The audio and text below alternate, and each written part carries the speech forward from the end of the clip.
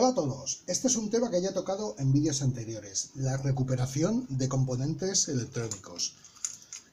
Dicha recuperación a la hora de tener que realizar averías, nuevos diseños, montajes, etcétera, etcétera, pues es bastante importante, primero porque nos ahorra mucho, mucho dinero a la hora de tener que adquirir los componentes, Muchas veces tener que adquirirlos es complicado, si tenemos que desplazarnos a la tienda, perdemos tiempo desplazándonos, o no encontramos los componentes, etcétera, etcétera. Por lo tanto, si tenemos un remanente de componentes recuperados, pues lo dicho, puede ser bastante interesante porque nos ahorra dinero que no tenemos que gastar en ellos y segundo, lo tenemos al alcance de la mano si los tenemos organizados en cajas, etcétera, etcétera.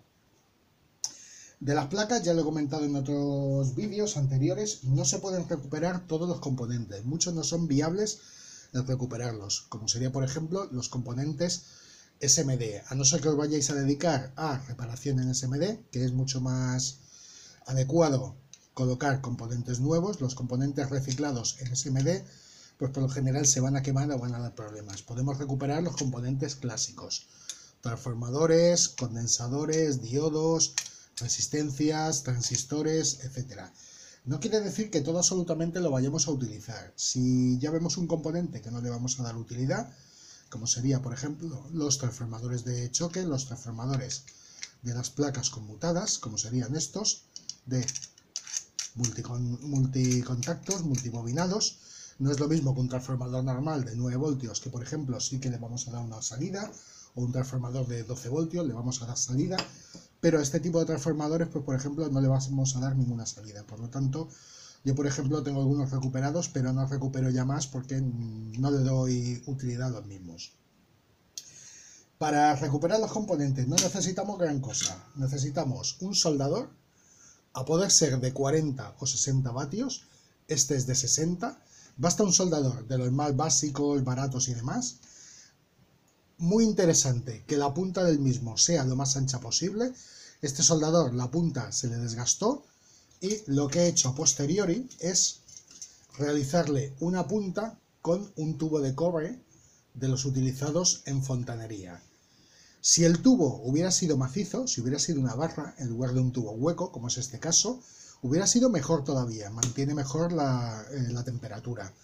Pero a falta de una barra adecuada, pues lo dicho, le realicé con unos tubos de climatización, unos tubos de, aire acondicionado, le he realizado dos puntas, cada una con una utilidad, y la verdad es que funciona bastante adecuadamente, bastante bien.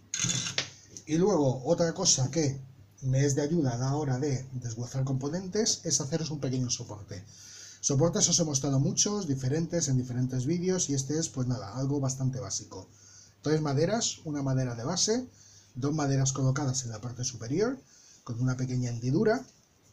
He colocado tres tornillos fijos, que serían estos, inicialmente había colocado un cuarto tornillo también fijo, pero eh, la práctica al final te acaba enseñando de que vale más que ese tornillo sea un tornillo móvil. Que este tornillo, en caso de necesidad, si nos encontramos una placa que pueda ser un poquito más ancha que otra, que las hay, pues que este tornillo podamos ajustarlo a la placa que tengamos y la misma nos quede fijada adecuadamente. Lo dicho, fijamos la placa y ya nos quedaría cogida al soporte.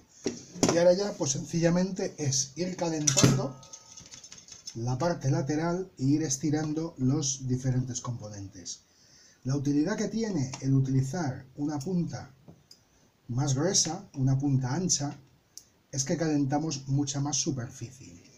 Y sobre todo a la hora de desmontar según qué componentes que tienen las patillas muy pegadas, que tienen las patillas muy próximas, es muchísimo más útil. Vamos a sacar este transformador. Y sencillamente la técnica pues tampoco no tiene gran secreto. Calentamos por un lado y estiramos por el otro el componente. Vamos a sacar alguno. Nos podemos ayudar también de algunos utensilios, algunos utensilios de estirado o de empuje que os he mostrado también en otros múltiples vídeos. Si no queremos quemarnos, o unas pinzas, eso ya depende de cada uno. Como se suele decir, cada maestrillo tiene su librillo, cada uno tiene su forma y su manera de realizar las cosas. Yo no digo ni que sea la mejor ni que sea la peor, es la que yo tengo. Cada uno, pues lo ha dicho, adapta las necesidades pues a lo que él le gusta más o como él le va eh, mejor realizar los trabajos. Vamos a quitar algún componente más, ahí. Bueno, voy a cambiar de placa y ahora os muestro porque esta pues todavía quería, quedaría quitarle los dos zócalos portacables, los condensadores, esta parte. El choque de RF ya tengo bastante recuperados, por lo tanto no lo voy a recuperar y lo que tiraríamos, lo que dejaríamos en la placa, serían estos dos componentes. Y en esta otra, pues es la misma, es el mismo modelo que podemos reciclar. También podemos reciclar dos cosas que a veces pues no contamos y es los cablecillos. Los mismos ya llevan los conectores, por lo tanto para alguna cosa nos pueden ser de utilidad y son dos cables rojo y negro, positivo y negativo, por lo tanto para algún montaje siempre viene bien tener un trocito de cable. Y dos cosas más que también es interesante, esta placa era de una luminaria, por lo tanto tiene unas chapas de bastante utilidad, por ejemplo, si tenemos que reparar el portapilas de algún aparato, si tenemos que hacerle una conexión portapilas. Pues lo dicho, son también dos chapas interesantes que las mismas sueldan muy bien, por lo tanto para hacer algún tipo de portapilas para placa pueden ser útiles. Y nada, en esta vamos a sacar algún componente más, como por ejemplo los zócalos, que ya veis, con un soldador de potencia adecuada y de ancho de punta adecuada, lo que os comentaba, va muy bien. Podemos tener bastante velocidad a la hora de sacar los componentes. Sigo con la tarea y acabo de quitar los componentes que faltaban. A la hora de clasificar los componentes, yo lo que hago es clasificarlos por familias. Una caja para los transformadores, una caja para los fusibles, resistencia las, eh, sí que las ordeno por, eh, por valores, condensadores los ordeno por valores. Y en el caso por hipotético, por ejemplo, que tuvierais mucho espacio para almacenar, según qué placas es más útil almacenar los componentes sin sacarlos de la propia placa. En el momento que tenemos que ir a utilizar, ir a buscar en las placas qué componente es el que necesitamos. Si como es mi caso tenéis problemas de espacio, no puedo almacenar todas las placas que me gustaría, pues lo que hago, lo dicho, sacar los componentes y tenerlos todos clasificados en cajitas.